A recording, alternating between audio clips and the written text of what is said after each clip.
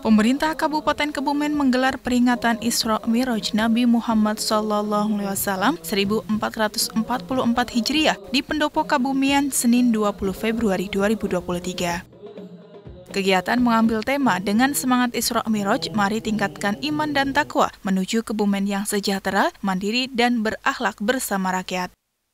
Hadir Bupati Kebumen Arif Sugianto, Wakil Bupati Ristawati Purwaningsi, anggota Forkopimda atau yang mewakili, Sekda Ahmad Ujang Sugiono, staf Ali Bupati, asisten Sekda, pimpinan OPD, serta alim ulama.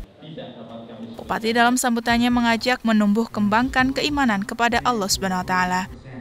Selain itu, kepada para karyawan di lingkungan Pemkap Kebumen untuk menjalankan tugas dengan tulus dan ikhlas dan memberikan pelayanan terbaik kepada masyarakat di Kabupaten Kebumen. Arif menyampaikan di tahun 2023 masyarakat perlu mewaspadai inflasi global serta harus menggerakkan perekonomian di daerah. Salah satu upaya yang dilakukan yakni belanja melalui e-katalog lokal. Dengan begitu, para penyedia jasa dan barang di Kebumen terus berjalan, sehingga roda perekonomian di Kebumen juga terus bergerak. Dalam kesempatan tersebut diisi dengan pengajian oleh pembicara Kiai Haji Mustangin Al-Mansur, pengasuh Pondok Pesantren Darul Akhlak Kalijaya Alian. Kiai Haji Mustangin menyampaikan bahwa ternyata dalam sholat ada ajaran rukun Islam yaitu syahadat, sholat, puasa, zakat, dan haji.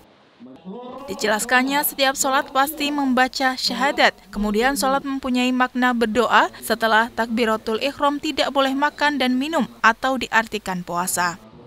Sedangkan zakat digambarkan dengan menengok kanan dan kiri, di mana kita harus selalu ingat kepada tetangga dan saudara. Sementara haji, bahwa kita setiap sholat pasti menghadap kiblat. Dari Kebumen, Tim Liputan Rati TV memberitakan.